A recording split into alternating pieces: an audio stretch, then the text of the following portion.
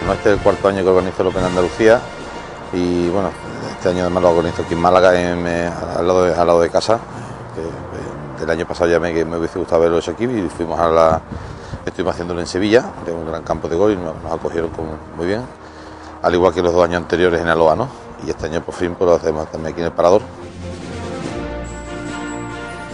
Jugamos aquí récord del campo también, con de Bajo Par.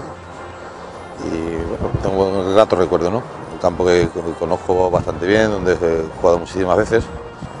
Fue un año porque gané dos torneos, eh, perdí en playoff, eh, jugamos la. fue mi primer año que participé como jugador en la Ryder Cup, en Boston.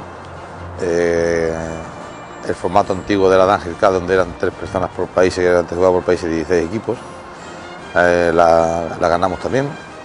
Y bueno, este ganamos la Danger Cup, gané el Volvo Master en, en Monte Castillo y que perdí en playoff con Tiger en el eh, Valderrama, en el American Express que se jugó, primero de los dos que se jugó.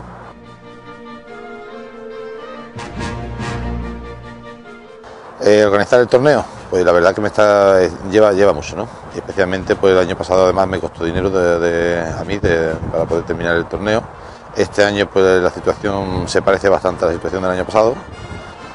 Eh, y, bueno, pero es una cosa, es un proyecto que tengo en mente y como hemos comentado antes de, la reciprocidad entre el golf y mi persona, ¿no? Pues yo estoy dándole, quiero dar el golf a acercárselo a la gente, quiero que se ayudar a que la gente pueda jugar más al golf y a competir y, a través de la competición, ¿no? Y luego también, pues bueno, estamos aquí viviendo en, en Andalucía donde pienso que tiene que haber un Open perenne porque tenemos tantísimos campos de golf aquí y es la única fábrica que no se puede ir a otro sitio, que es el sol, la luz, los, campos de golf y es una fábrica de hacer turismo.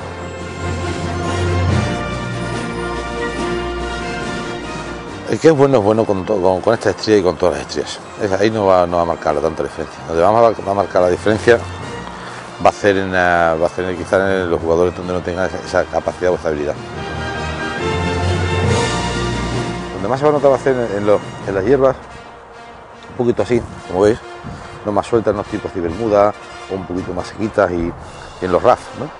Es donde más se va a notar porque al tener la, caída un poquito, ya no va a ser en cuadrado, sino va a ser más, más oblicua, más, más en nube, va a ser menos, menos agresivo la, la, L, que forma el canto eh, de la, de, la, de la estría y por lo tanto también al tener menos capacidad va a tener menos, menos salida de aire y de, la, de, la, hierba, de la broza que puede coger por medio.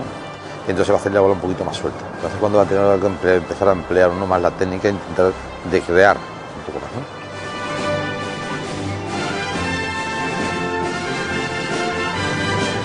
hay que seguir jugando día a día, hay que vivir el momento y hay que seguir pues, disfrutando. Y de esa manera, de la única manera que se podrá conseguir el objetivo de la radio.